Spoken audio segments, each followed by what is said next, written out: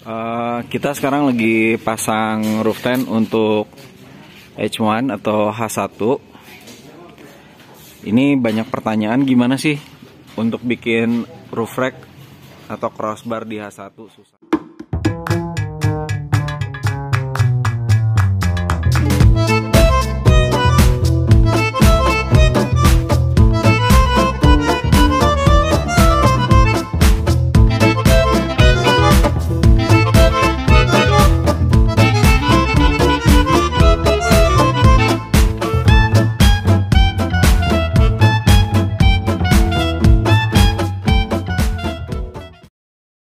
Contohnya kayak gini ya guys.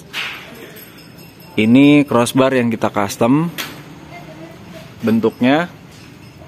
Nah, jadi kalau dari samping itu mobil kayak nggak ada apa-apa ya. Padahal ada ini penguat, pe- penguatnya. Jadi kita bikin serapih mungkin dan tidak ada pengeboran ke atap. Jadi kita nggak mau ngebor. Di sini nggak ada bor, di sini nggak ada bor. Ini cuman tempel aja plug and play. Kalau pintu dibuka, dia juga nggak akan ngeganggu. Nih contohnya.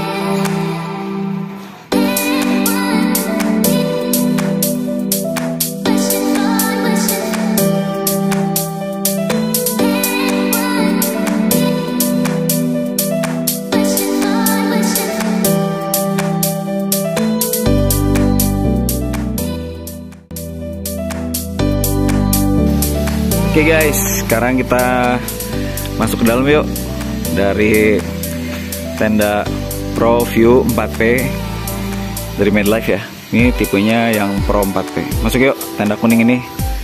Di si Gajai kita jelasin tenda Medlife itu yang Pro semuanya pakai pintu masuk dari dalam gitu. Ini panjang ini dari ujung depan ke belakang 2 meter 40 sampai sini 3 meter. Tuh, jadi kalau kita nyebutnya eh, dimensinya adalah 200 kali 240 itu untuk dalam. Kalau sama luar ya 3 meter. Gede ini guys, ya. Kita sunroof. Area ini bisa kita manfaatin kan untuk ngopi-ngopi nih sebetulnya. Tapi kalau misalkan mau di bikin annex juga bisa. Kita udah bikin annex. Di bawah itu ukurannya akan sama besar dengan yang di atas. Jadi kalau di atas semeter 40 kali 2 meter 40, di bawah pun akan sama. Semeter 40 kali 2 meter 40. Jadi masih bisa tidur di bawah tuh guys. Ini bonus tas sepatu sudah ready stock. Jadi kalau mau lihat sekarang kita udah pakai tas sepatu. Nah ini si tutup ini berguna sekali kalau hujan biar kita naik turun tangga nggak kehujanan guys. Ini jaring anti nyamuk selalu ada di setiap lubang ventilasi lubang udara pintu. Semuanya kita pakai jaring anti nyamuk. Soalnya kalau di tempat camping agak ke pegunungan tuh banyak lalat banyak laron. Itu harus kita hindari. Tapi kita tetap masih bisa bernafas bisa lihat keluar ruangan gitu. Oke ini masuk ke sini kita pasangin pintu penutup dari dalam ya. Bukan dari luar dari dalam.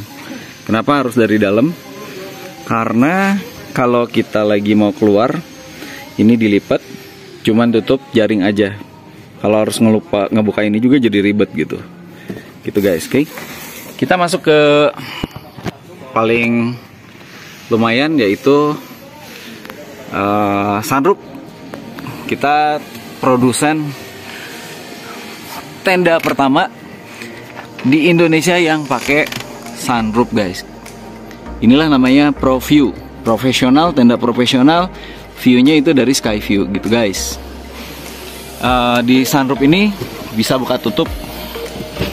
Ini ada penutup. Ketika kita nggak mau eh, nggak mau buka sunroofnya atau kalau siang kan matahari terik banget nih kita tutup biar nggak terlalu panas jadi nggak kena sinar matahari langsung. Sebelah samping kiri itu ada jendela super besar terbesar daripada tenda yang ada di Indonesia baik itu impor maupun yang buatan lokal. Kita dimensinya udah paling gede banget. Ada dua saku untuk handphone, kunci atau apa pun barang-barang kecil ya. Ada dua ventilasi semua jahitan sudah kita simsil aman dari hujan. Oke kita masuk ke jendela sebelah sini ini ada tiga lapis. Yang ini adalah jendela untuk penutup penahan suhu ruangan tetap stabil. Jadi kalau di tempat dingin ini berguna banget untuk mempertahankan suhu di dalam ruangan. Gitu. Jadi boleh nggak dipakai. Nah ini jaring lapis kedua. Ini lapis jaring anti nyamuk. Kalau kita keluar guys di sini ada penutup satu lagi ini fungsinya untuk menahan air. Jadi di bagian sini kita ada tiga lapis penutup. Luar uh, jaring anti nyamuk dan penutup suhu ruangan. Oke okay?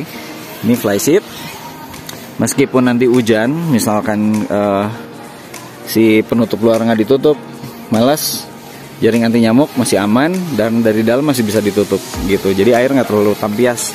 Nah air itu ketika hujan akan ada cipratan dari awning nyiprat balik ke sini. Makanya kita bikin ini tutup ya guys. Ini jendela sebelah kanan kiri lagi. Ada saku ya dua. Jendela super besar masih gede banget enak untuk view ya. Keren banget tuh ke depan keluar. Ventilasi.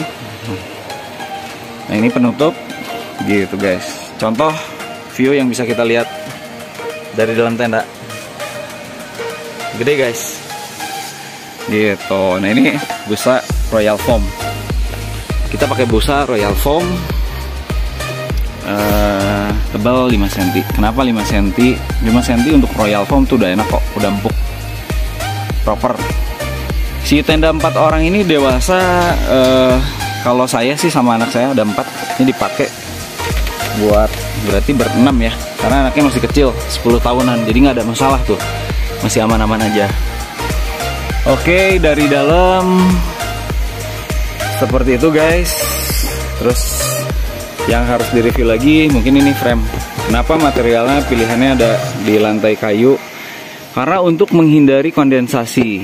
Jadi ketika kita camping di tempat dingin kalau ininya pakai metal entah itu aluminium entah itu plat galvanis ketika cuaca dingin ini akan ikut dingin.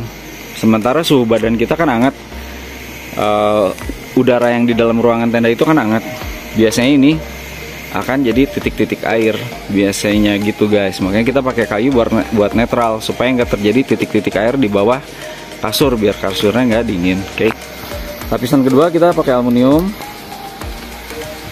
Jadi ini aluminium.